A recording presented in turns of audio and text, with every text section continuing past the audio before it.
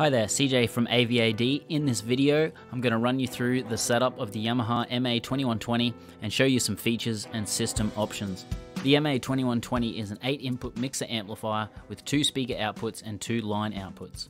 Perfect for single room systems or indoor outdoor applications or applications where you need 1 to 4 zones of volume control like restaurants or in a retail shop or if you just need a clean, simple way of controlling a single room with a single wall plate controller when adding the DCP controllers. On the input side, we have six mic line selectable Euroblock connections, all with 48 volt phantom power. Channel 7 and 8, we've got two stereo RCA connectors. On our output side, you can run channel A and B as two separate zones, or you can run them together as a single stereo zone. The impedance of each output can be set independently to show 8 ohm low or 100 volt high. Here is a single zone stereo example, maybe for a classroom or boardroom. You can run an indoor or outdoor scenario with the ability to have independent volumes. You can link an MA2120 to a PA2120 using the MA2120 line outputs to expand speakers on a zone and even add another two zones of volume control.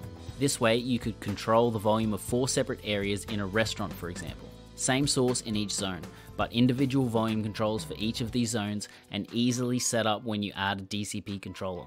There are three DCP controllers in the range that allow you to control a few functions on the MA2120.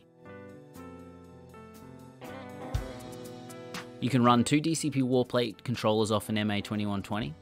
The wall plates connect to the MA2120 via CAT cable and are powered off the unit itself.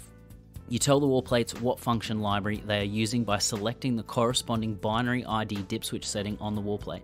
For example, on the DCP 1V4S, binary ID 0 and 1 allow you to select output A or B via buttons 3 and 4 on the DCP to adjust the volume.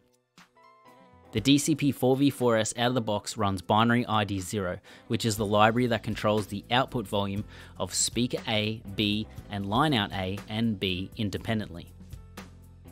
With the DCP panels, you can create a neat way for end users to control their system. Here is one example of a large function room.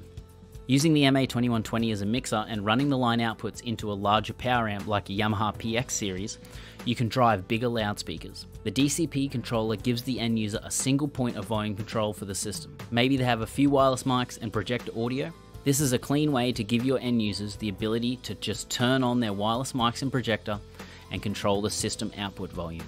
Some other features of the MA2120, you've got panel lock, which locks out the front of the unit, auto wake settings for power saving, here is where you set the volume link for single stereo zone or two independent zones. The unit also has duckers built in for up to two microphones on channels 1 and 3. Plus, on the unit, there's a handy sticker on top for some of those basic input-output setup functions. I hope you enjoyed this video and I thank you for tuning in. For more information on the products we distribute, please check out the AVAD blog at www.avad.com.au.